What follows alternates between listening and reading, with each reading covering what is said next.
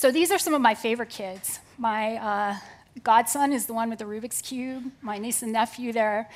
Um, and so around 2050, these kids will be in their 30s, which, if you have kids that you know, this will be true of them also. So I want to walk you through some of what's projected for the Earth system around 2050. Um, and, and this isn't primarily based on climate model predictions like we're used to. This is looking at extrapolations of what's happening to the system now. And this tends to come from scientists and researchers that are looking at different parts of the system individually. And so, firstly, we have a projection that the amount of forest burn area in the United States will be 10 times what it was in 1970. So today, it's about three times what it was in 1970. And so it's tracking along with temperature rise. So two or three decades from now, we can anticipate lots more forest fires than we have today.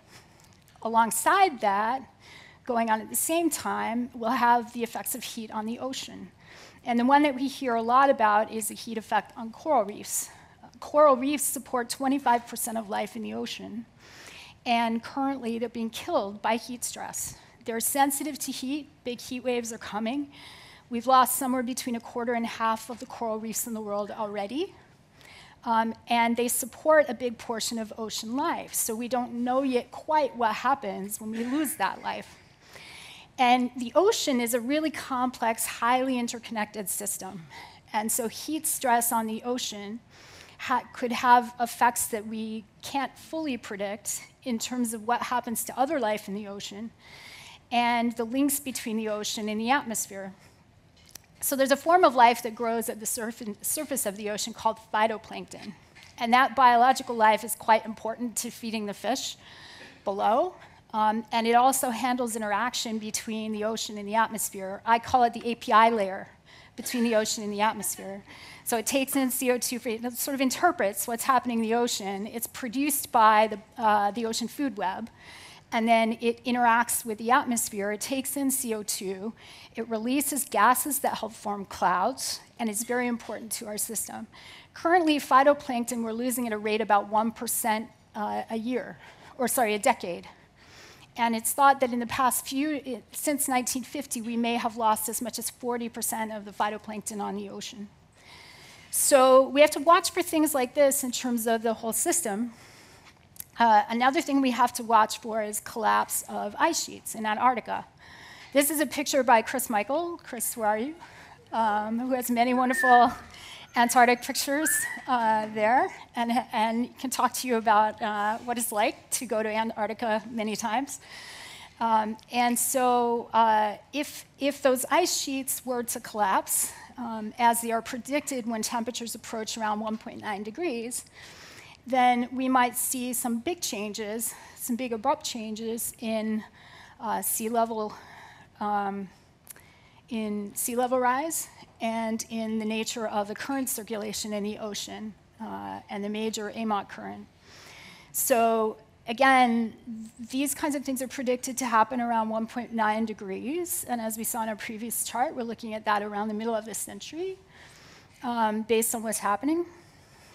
And again, uh, concurrent with those things, we have effects on infrastructure. So one of the things to think about when we think about climate change, it, especially when it comes to discussion of adaptation, is we're likely to have lots of things going on at once. Um, and a lot of our infrastructure was built to a certain range of conditions of temperature, of wind, of storm surge, of ground conditions. And we're starting to push uh, the climate outside of the conditions um, that some of that infrastructure was built for.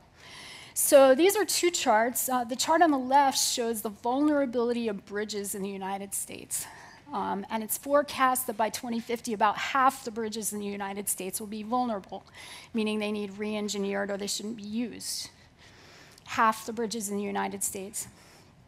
Um, and the other chart is looking at uh, the vulnerability of coastal military infrastructure, which is something that the military takes pretty seriously. And you can see an enormous uh, amount of vulnerability to flooding of that infrastructure, making possibly rendering some of, some of those sites um, unviable.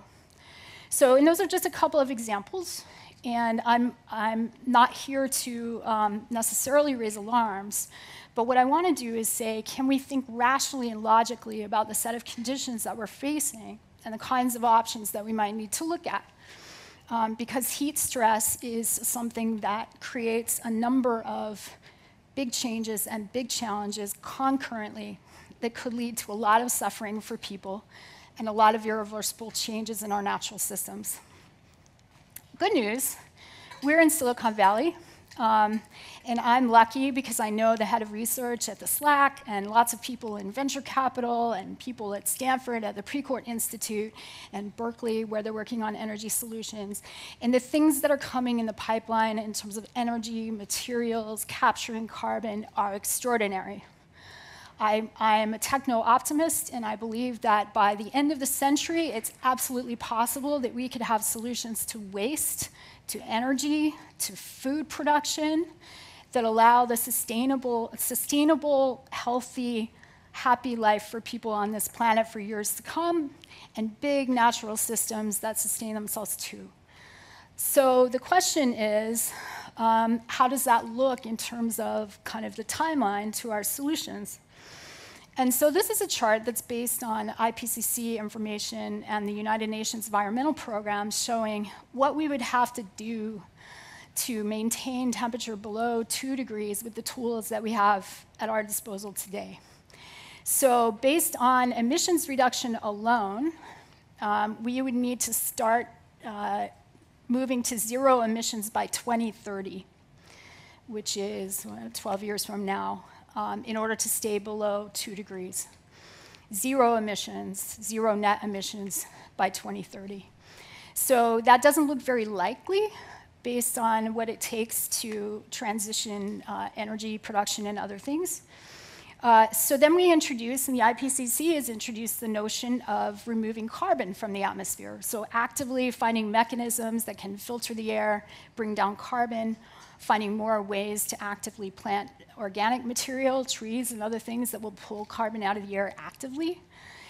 And so, what they've done in IPCC projections is, is they've said if we have these things, then it is possible to extend the time that we have to safely uh, stay under two degrees.